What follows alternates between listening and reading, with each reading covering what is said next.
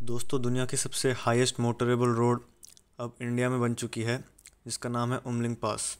इसकी जो ऊंचाई है, वो nineteen thousand three hundred feet है अब सी लेवल ये जो रोड है, ये चूमर सेक्टर को कनेक्ट करेगी, जो कि ईस्टर्न लद्दाख में है। और ये रोड एक ऑल्टरनेट डायरेक्ट रूट प्रोवाइड करेगी लोकल लोगों को, जो कि चिसुमल और डेमचोक को लेह से कनेक्ट करेगी। इस रोड को इंडिया की बॉर्डर रोड्स ऑर्गेनाइजेशन ने बनाया है।